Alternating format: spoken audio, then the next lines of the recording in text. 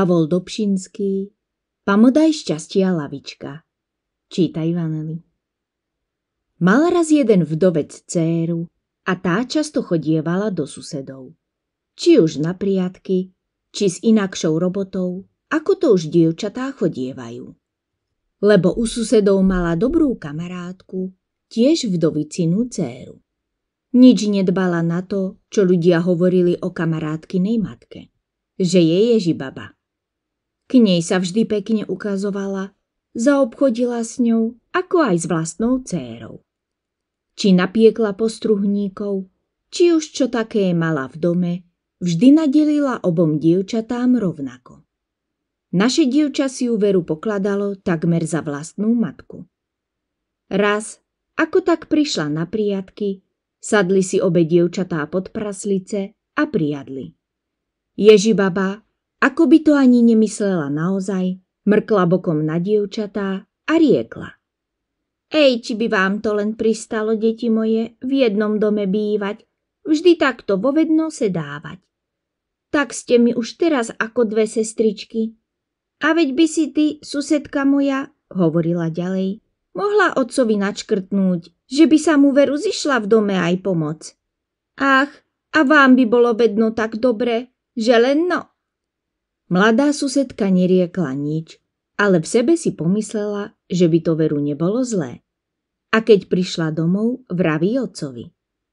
Otec, veď by ste sa vy mohli oženiť. Veru by sa vám zišla pomoc a mne, sirote, mať. Pristala by som na dobrú macochu.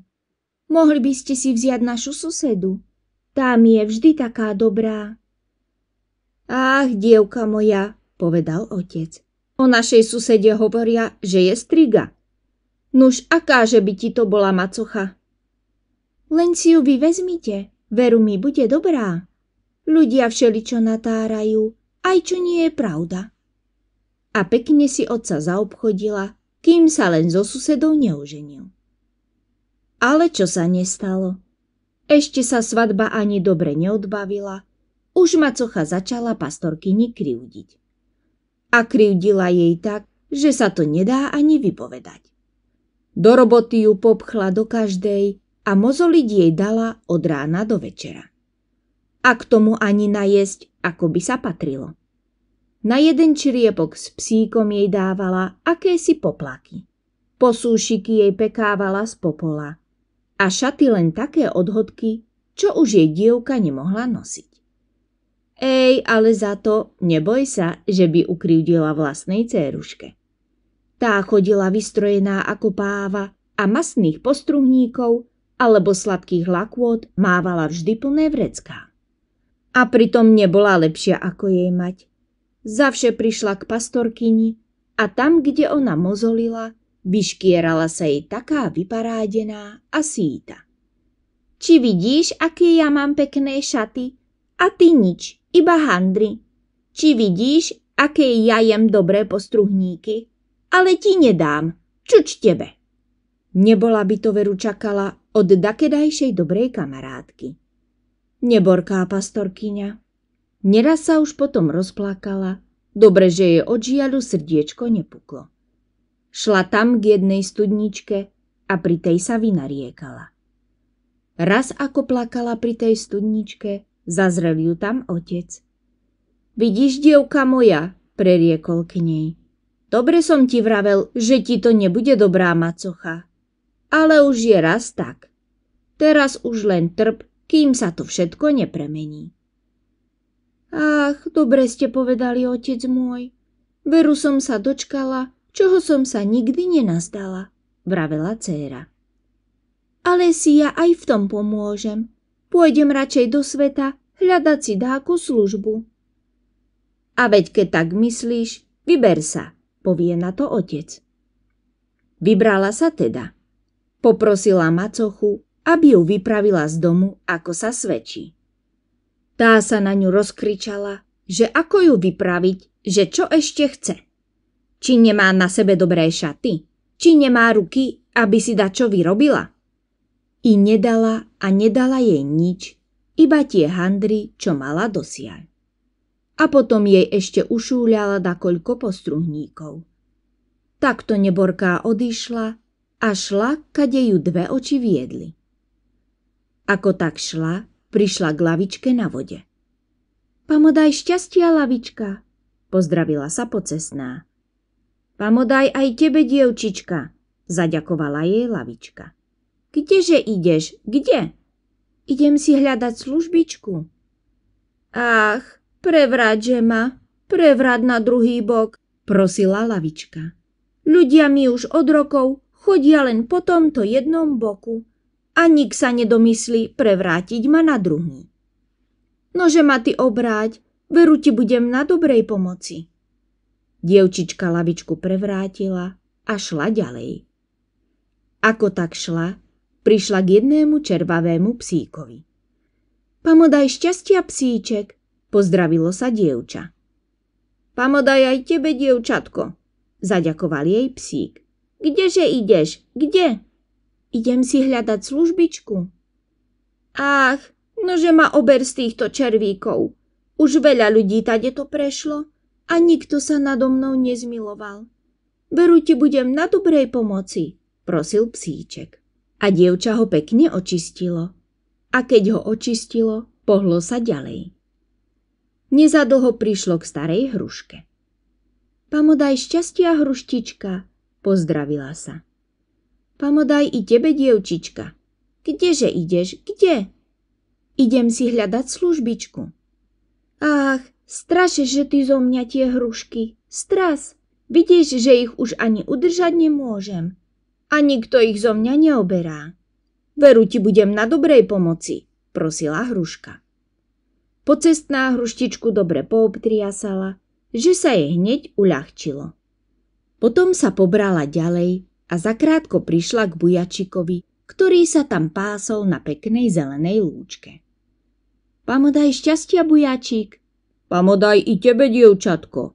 Kdeže ideš? Kde? Idem si hľadať službičku. Nože ma, no, vyžen z tej lúčky. Už od rokov sa tu pasiem a nemá ma kto ani len zavrátiť. Veru ti budem na dobrej pomoci, prosil ju bujačik. Bujačika z lúky vyhnala a ponáhľala sa ďalej. Došla k jednej peci, v ktorej ustavične horel oheň. Pamodaj šťastia, piecka. Pamodaj i tebe, dievča. Kdeže ideš? Kde? Idem si hľadať službičku. Ach, nože ty vyhrab zo mňa ten oheň. Už od rokov ma tu páli a nikto mi ho nevyhrabe. Veru ti budem na dobrej pomoci. Pri samej peci stálo opreté ohreblo. Pocestná ho chytila a oheň z pece vyhrabala. Potom sa už ponáhľala ďalej, lebo sa pri toľkých prácach veľmi omeškala. Prišlo jej tu ísť veľkými horami. Ide, ide tými horami, starými cestami a tu nikde nič. Na ostatok sa preca dostala do jednej hôrky, kde stál osamotený domček.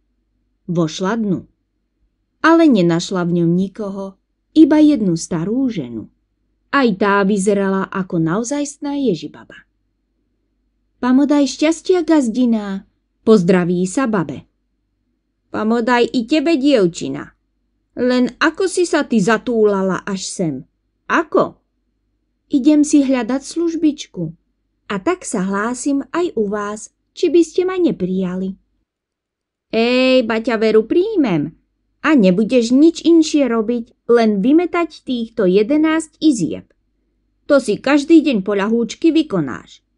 Len či vidíš, za tým je 12. izba, do tej mi ani nenakúkneš. Ako mi rozkážete, tak budem robiť, povedalo dievča.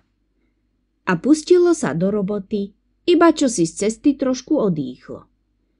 I vymetala ona tých 11 izieb, vymetala deň po deň a podívať sa do tej dvanástej, to jej ani na um nezišlo. Ale na veľa sa jej preca videlo čudné, prečo je to, ako je to, že do tej dvanástej ani len nazrieť. Hádala, čo také by mohlo v nej byť, ale nič nevyhádala. Na ostatok si umienila, že do tej dvanástej izby nakúkne čo len jedným očkom. Ježibaba odišla raz kde si do mesta. To bola našej dievčine voda na mlyn. Keď myslela, že si už Ježibaba chodí da kde tam v meste, zahodila metlu do kúta, prikradla sa k dverám a odchýlila ich len tak, aby mohla nazrieť dnu jedným očkom. Tam naprostred izby stáli tri veľké kade. Ej, myslí si, čo môže byť v tých kadiach? Roztvorí väčšmi dvere a vidí. V jednej sú července, v druhej striebro a v tretej zlato. Tu, ako čo by jej dačo pošeplo, skočila do toho zlata a celá sa v ňom okúpala a pozlátila. Aspoň vraj budem mať na pamiatku. Ale hneď si pomyslela, že tam už nemôže viac ostať.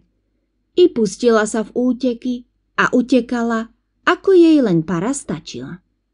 Nuž vari dobre, ale kto ho vie? Príde tu Ježibaba z mesta domov. Chyže nepozametané, na dvanástej dvere roztvorené a po zemi plno zlata. Hneď vedela, koľko bylo. Schytila železné hrebienky, sadla na trlicu a hybaj hajde za ňou. Bola by ju pekne rúče dochytila hneď pri tej peci. Ale piecka dievčinu prepustila a keď dochádzala Ježibaba, rozvalila sa pec a vykydla na babu všetok oheň. Bolo toho už zase hodne nahoreného. Ježibabe zhorela trlica na prach, i sama až tak omdlievala od horúčosti, aj sa veľmi popálila.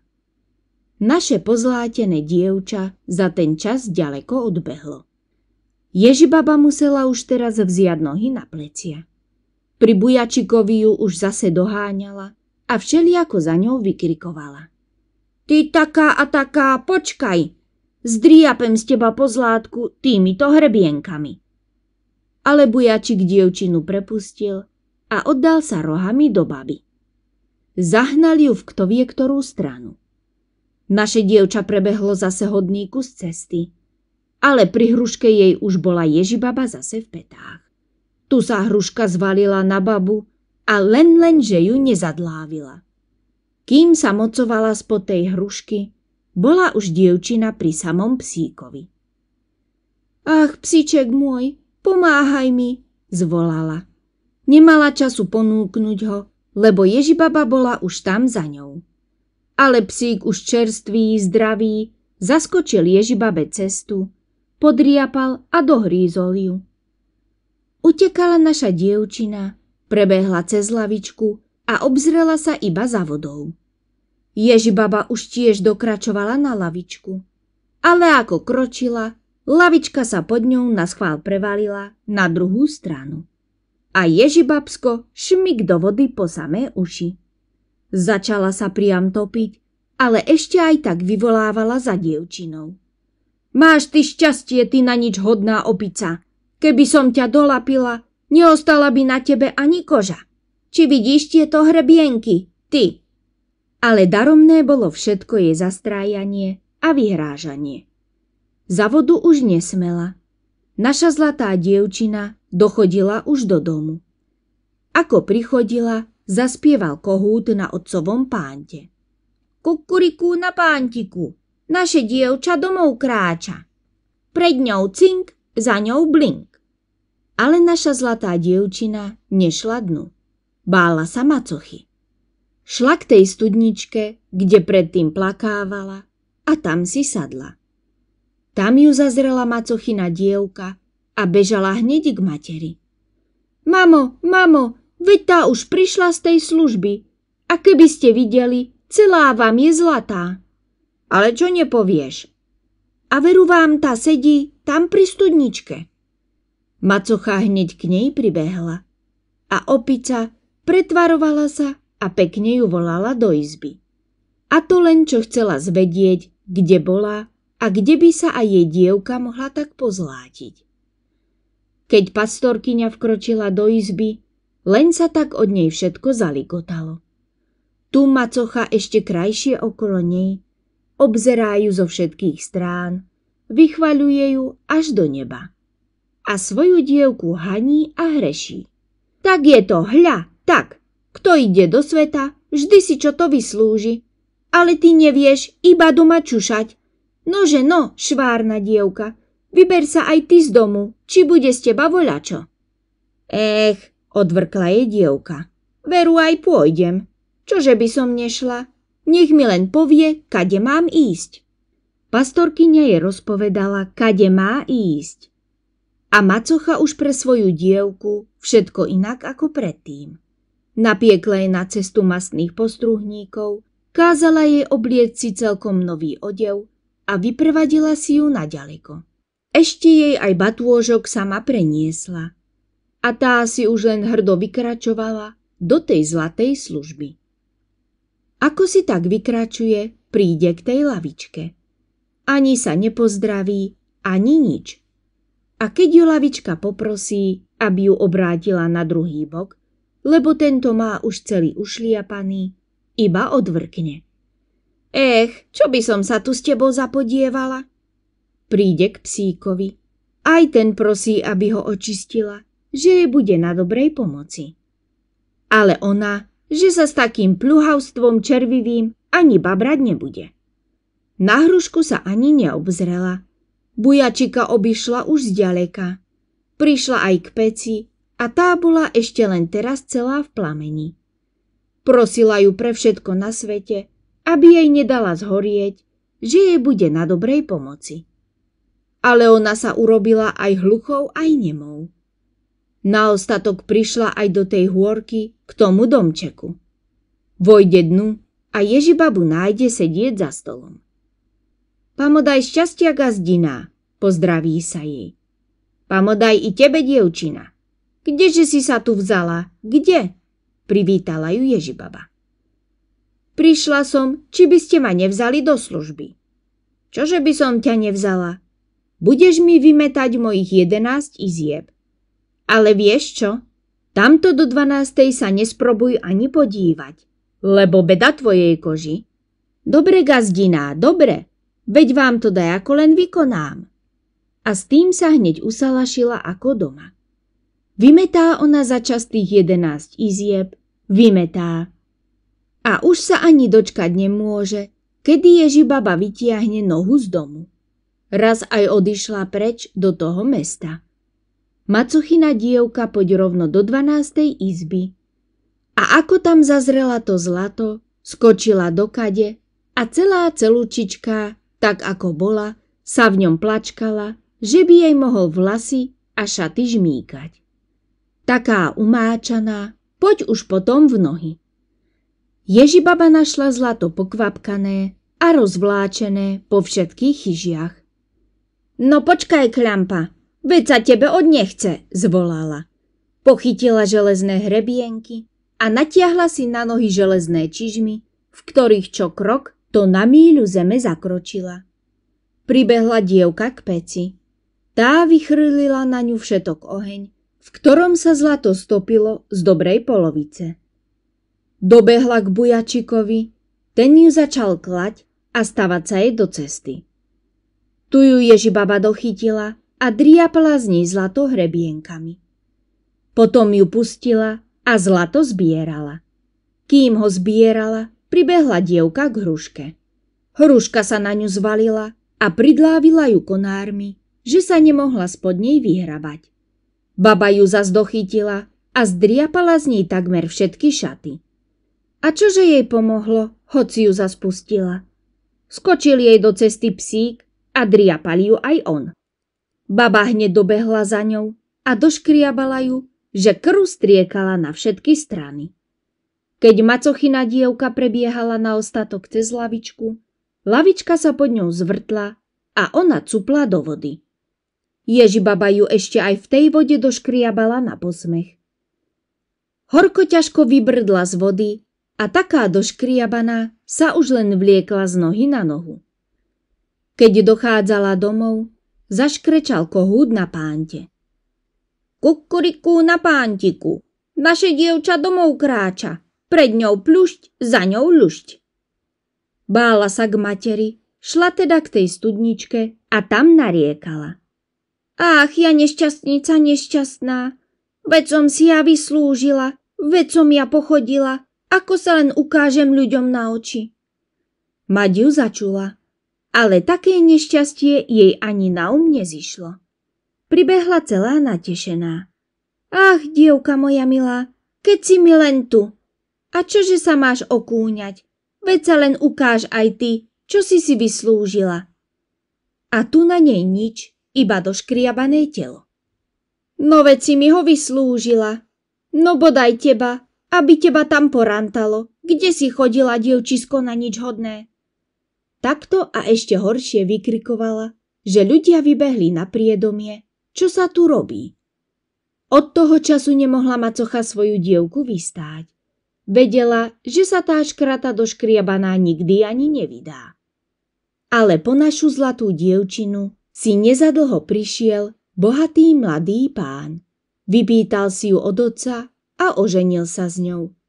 A bolo jej ešte len potom sveta žiť.